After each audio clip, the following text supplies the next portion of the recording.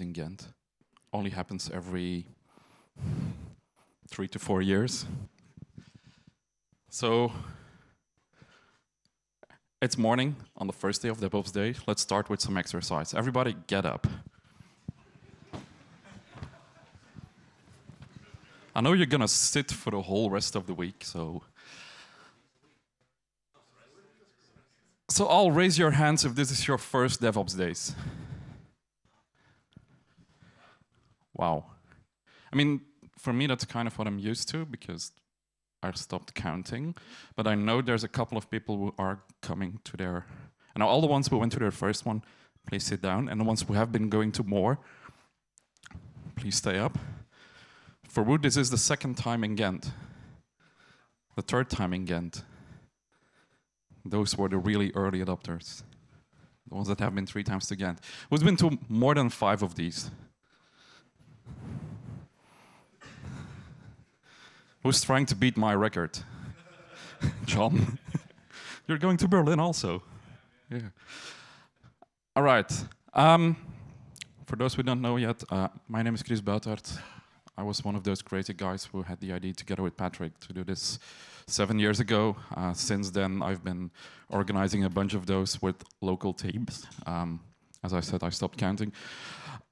For those who are new to DevOps Days, um, DevOps Days is this great, awesome concept where in the morning we have a bunch of really interesting talks from people all over the world who want to help our industry move forward in delivering software.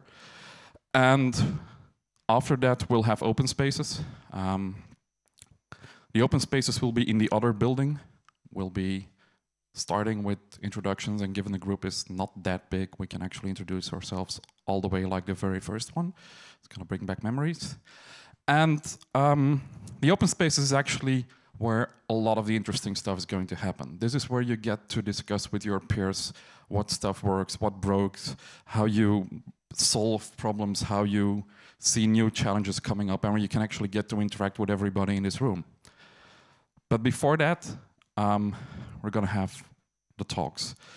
Um, DevOps Days would not be able to happen if we didn't have our sponsors. Um, we're going to have sponsor pitches between the different talks. But I would like to ask you all to send out tweets to thank all of the sponsors, and I'm going to read them here, and I hope they're randomly ordered or it looks alphabetically. Uh, please say big thanks to Chef, Cegeka, Showpad, Campbell, GoScale, Open Minds, Ordina, Kangaroot, Atlassian, StackState, HP, Alcatel, Lucent, that's Nokia now, right now, right? Um, Microsoft, Skyscrapers, Pivotal, and Puppet, if that list is correct. All right. So, before we start running behind. Um, our first speaker today is from Google, and he'll be talking about how to go back home after conferences. Terence, the floor is yours.